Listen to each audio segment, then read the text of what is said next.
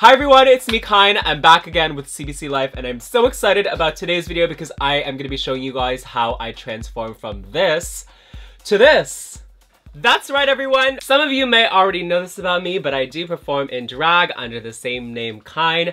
And those of you who follow me or have been to my shows, you know that I love to change up my makeup, I love cosplaying different characters or doing like avant-garde face paints. But today I'm gonna show you guys how I achieve my standard go-to face when I just want to feel like a natural woman. This is for all of you drag newbies out there, or if you're just curious on how a troll can look this pretty, this video is for you. Let's get started.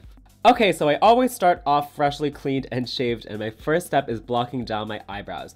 And I use something called Pros-Aide, which it's made for special effects makeup, but it's the, the only thing I found that's really invincible to sweat.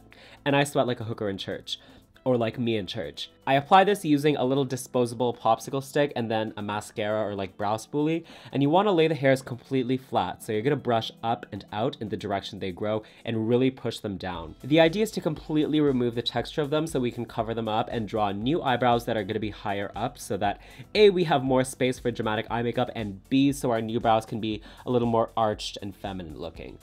I'm very inspired by like Disney villain eyebrows, but the actual drawing of the new brows will come later on, so this is all just prep work in creating that canvas. I'm also gluing down my sideburns with some glue stick because I also want to cover up this hair here as well so it doesn't peek out from underneath my wig. And then I powder over all of the glue once it's fully dried so that I can go over it all with foundation and there's no moisture there. I like to use the MAC Full Coverage Foundation with a dense foundation brush that I can buff into my skin. And around the glued down parts, you want to stamp the product down, trying not to disturb the glue underneath. And you're going to go over your entire face until you look like a naked mole rat. And now we have to add some shape and dimension with highlights and contours. I use a dark foundation on the perimeters of my face as a cream contour, and I put this all along my temples, my cheekbones, my jaw to pull the edges of my face back and make it look less flat and one-dimensional. Here I'm contouring my nose and I use the small brow brush actually with my contouring color and you basically want to draw two lines down the sides of the nose but um, this is a very delicate process because you don't want to overdo it so I always blend and make sure there's not too much product on the brush. This really harsh white color I'm using is my brow highlight. I like to mark out the edge underneath where my eyebrow is going to be because it really helps me decide on how to shape them and it helps me make them more symmetrical. And I make it start just as low as where my real brow starts, but then I just angle it up higher. A lot of new queens, I think, just want to draw their entire eyebrow up higher, and it just looks like a mixture of surprised and confused. But you want to make it look um, higher arched, not just higher on your face. That way it just looks fiercer and saucier. So now I'm setting the face with loose powder. If you've ever heard the term beating your face, it actually refers to this step of a drag queen's makeup routine where they beat their face with a powder puff. You always want to set creams with powder so you don't look shiny and so the makeup stays on longer. Everything we just contoured, I'm emphasizing with coordinating colored powders, and I like my contours pretty dark. Now we're gonna move on to the eyes, which is always my favorite part. You know, everything up till now has been about prepping the blank canvas, and now we can really have some fun.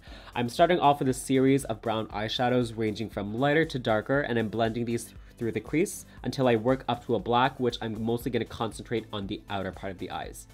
Since our brows are going to be up higher, we can be more liberal with our eyeshadow placement and take it bigger and farther out. With drag, less is never more. You want your makeup to be visible from across the club. But with that being said, unlike some queens, I do like to blend.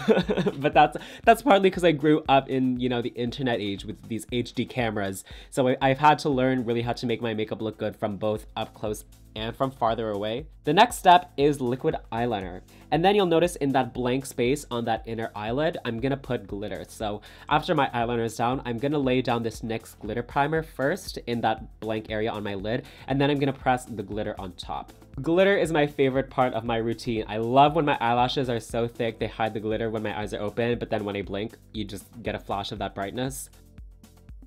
Oh my god, if you don't feel like the most beautiful person in the world after each step, you're not doing it right. Next up, I'm adding white to the inner half of my lower lash line, sort of to complement my winged eyeliner, but in the opposite direction. And this white helps open up the eyes and make them look bigger because it mimics the whites of your eyes. I underline it with black and blend that out just like the top, using browns and blacks, just with no glitter down here. Now I'm finally gonna fill in my brows. I like to use just a brown eyeshadow on a small angled brush, and I like them a little darker on the ends and more faded towards the innermost part. Since I underlined them earlier with that white, I'm not going in totally blind here. I have a template to follow, which makes this a lot easier. I'm gonna finish up the rest of my makeup before adding the finishing details to the eyes. So I'm highlighting my cheeks, adding blush, lipstick. Everything else up till now has just been like bombshell, glitter, glam, smoky, and we're just wanting to add some life back into our face and humanize ourselves. Off camera, I put in my contact lenses. I just love a full-on transformation and I'm gonna finish this off with my false eyelashes. These are a few pairs that I stacked together with one 301. Um, so I stack for thickness and fullness and then I add the 301s which is a really popular drag lash for length. I like my lashes so big that they impair my vision and it becomes a serious safety hazard. And that, in a nutshell, is my go-to face. Let me just go change out of these clothes and into something a little more comfortable. This is the finished look, everyone. I hope you liked it and learned something cool today. You know, whether you're a drag queen or just a regular makeup wearer, when it comes to wearing makeup, there really is no right or wrong way. It's all art. Um, but with that being said, I do like learning new tips all the time and sharing tips on how to do things faster or easier or more effectively. My YouTube channel, Online Kyne, is all about being a queen from sewing costumes like this one that I made or styling hair like this. Um, you can check out my channel if you are interested in learning things more in depth or if you just have more time to waste. Also, be sure to subscribe to CBC Life for more videos, and until I see you guys next time, I hope you're all doing well. Bye!